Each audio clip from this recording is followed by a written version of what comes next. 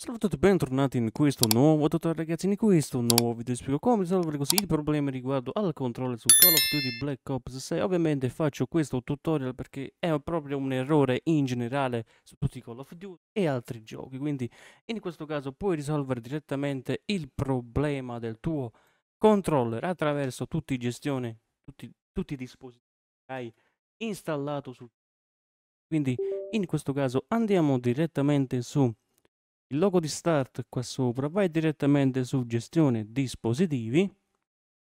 Ora andiamo fino a giù fino a trovare Human Interface Device, questo qua. Se in questo caso c'è un triangolino giallo su uno di questi dispositivi, vuol dire che è quel dispositivo del tuo controller, quindi non funziona. Se c'è un triangolino giallo qua vicino, tasto destro sopra, disinstalla il dispositivo e riavvia il computer non dovesse funzionare, fai aggiorna il driver di questo dispositivo. Se in caso c'è un triangolino giallo vicino a questi qua. Oppure puoi aggiornarli tutti. Cerca i driver nel computer, scegli da un elenco di driver disponibili dispositivi di input USB. Avanti. Installazione del driver e basta.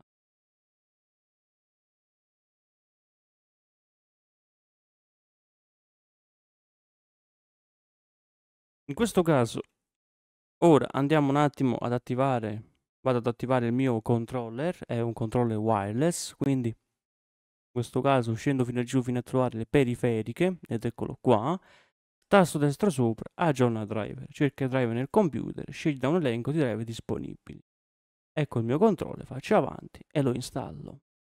Ovviamente se il tuo controller è connesso al computer e funziona benissimo, in generale funziona, ma su Call of Duty non va, puoi risolvere in questo modo e adesso occorre riavviare il computer.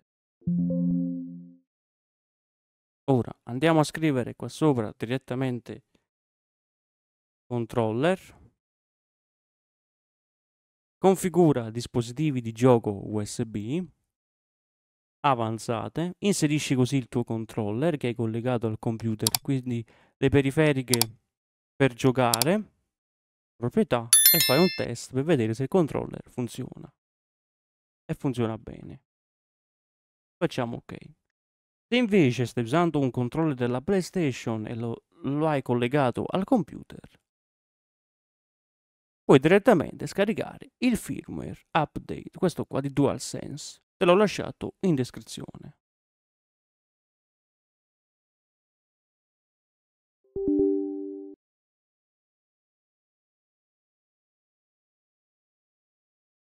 Ed eccolo qua lo scarichi lo installi.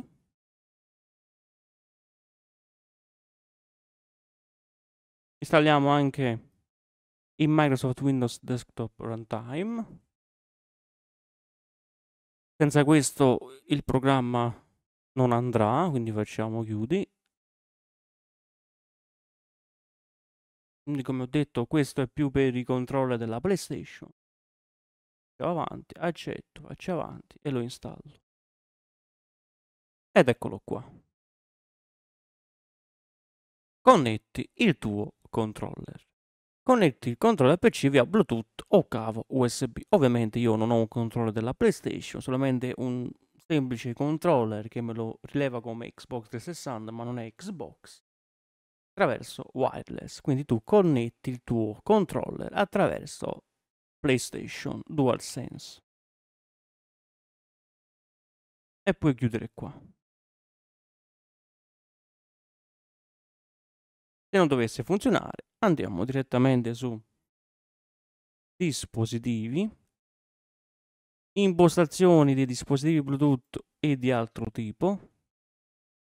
Scendiamo fino a giù fino a trovare il nostro controller ed eccolo qua, configurazione incompleta, quindi mi dice di riavviare il PC puoi direttamente fare rimuovi.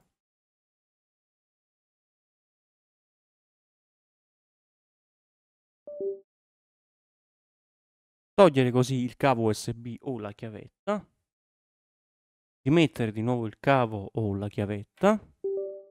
Connetto il mio controller ed eccolo qua. Xbox 360 per Windows. E basta Quindi prova uno di questi metodi o provali tutti. Quindi grazie a tutti per questa visione, se questo video ti è stato utilissimo iscriviti, lascia like e noi ragazzi ci vediamo ad un prossimo tutorial. Ciao!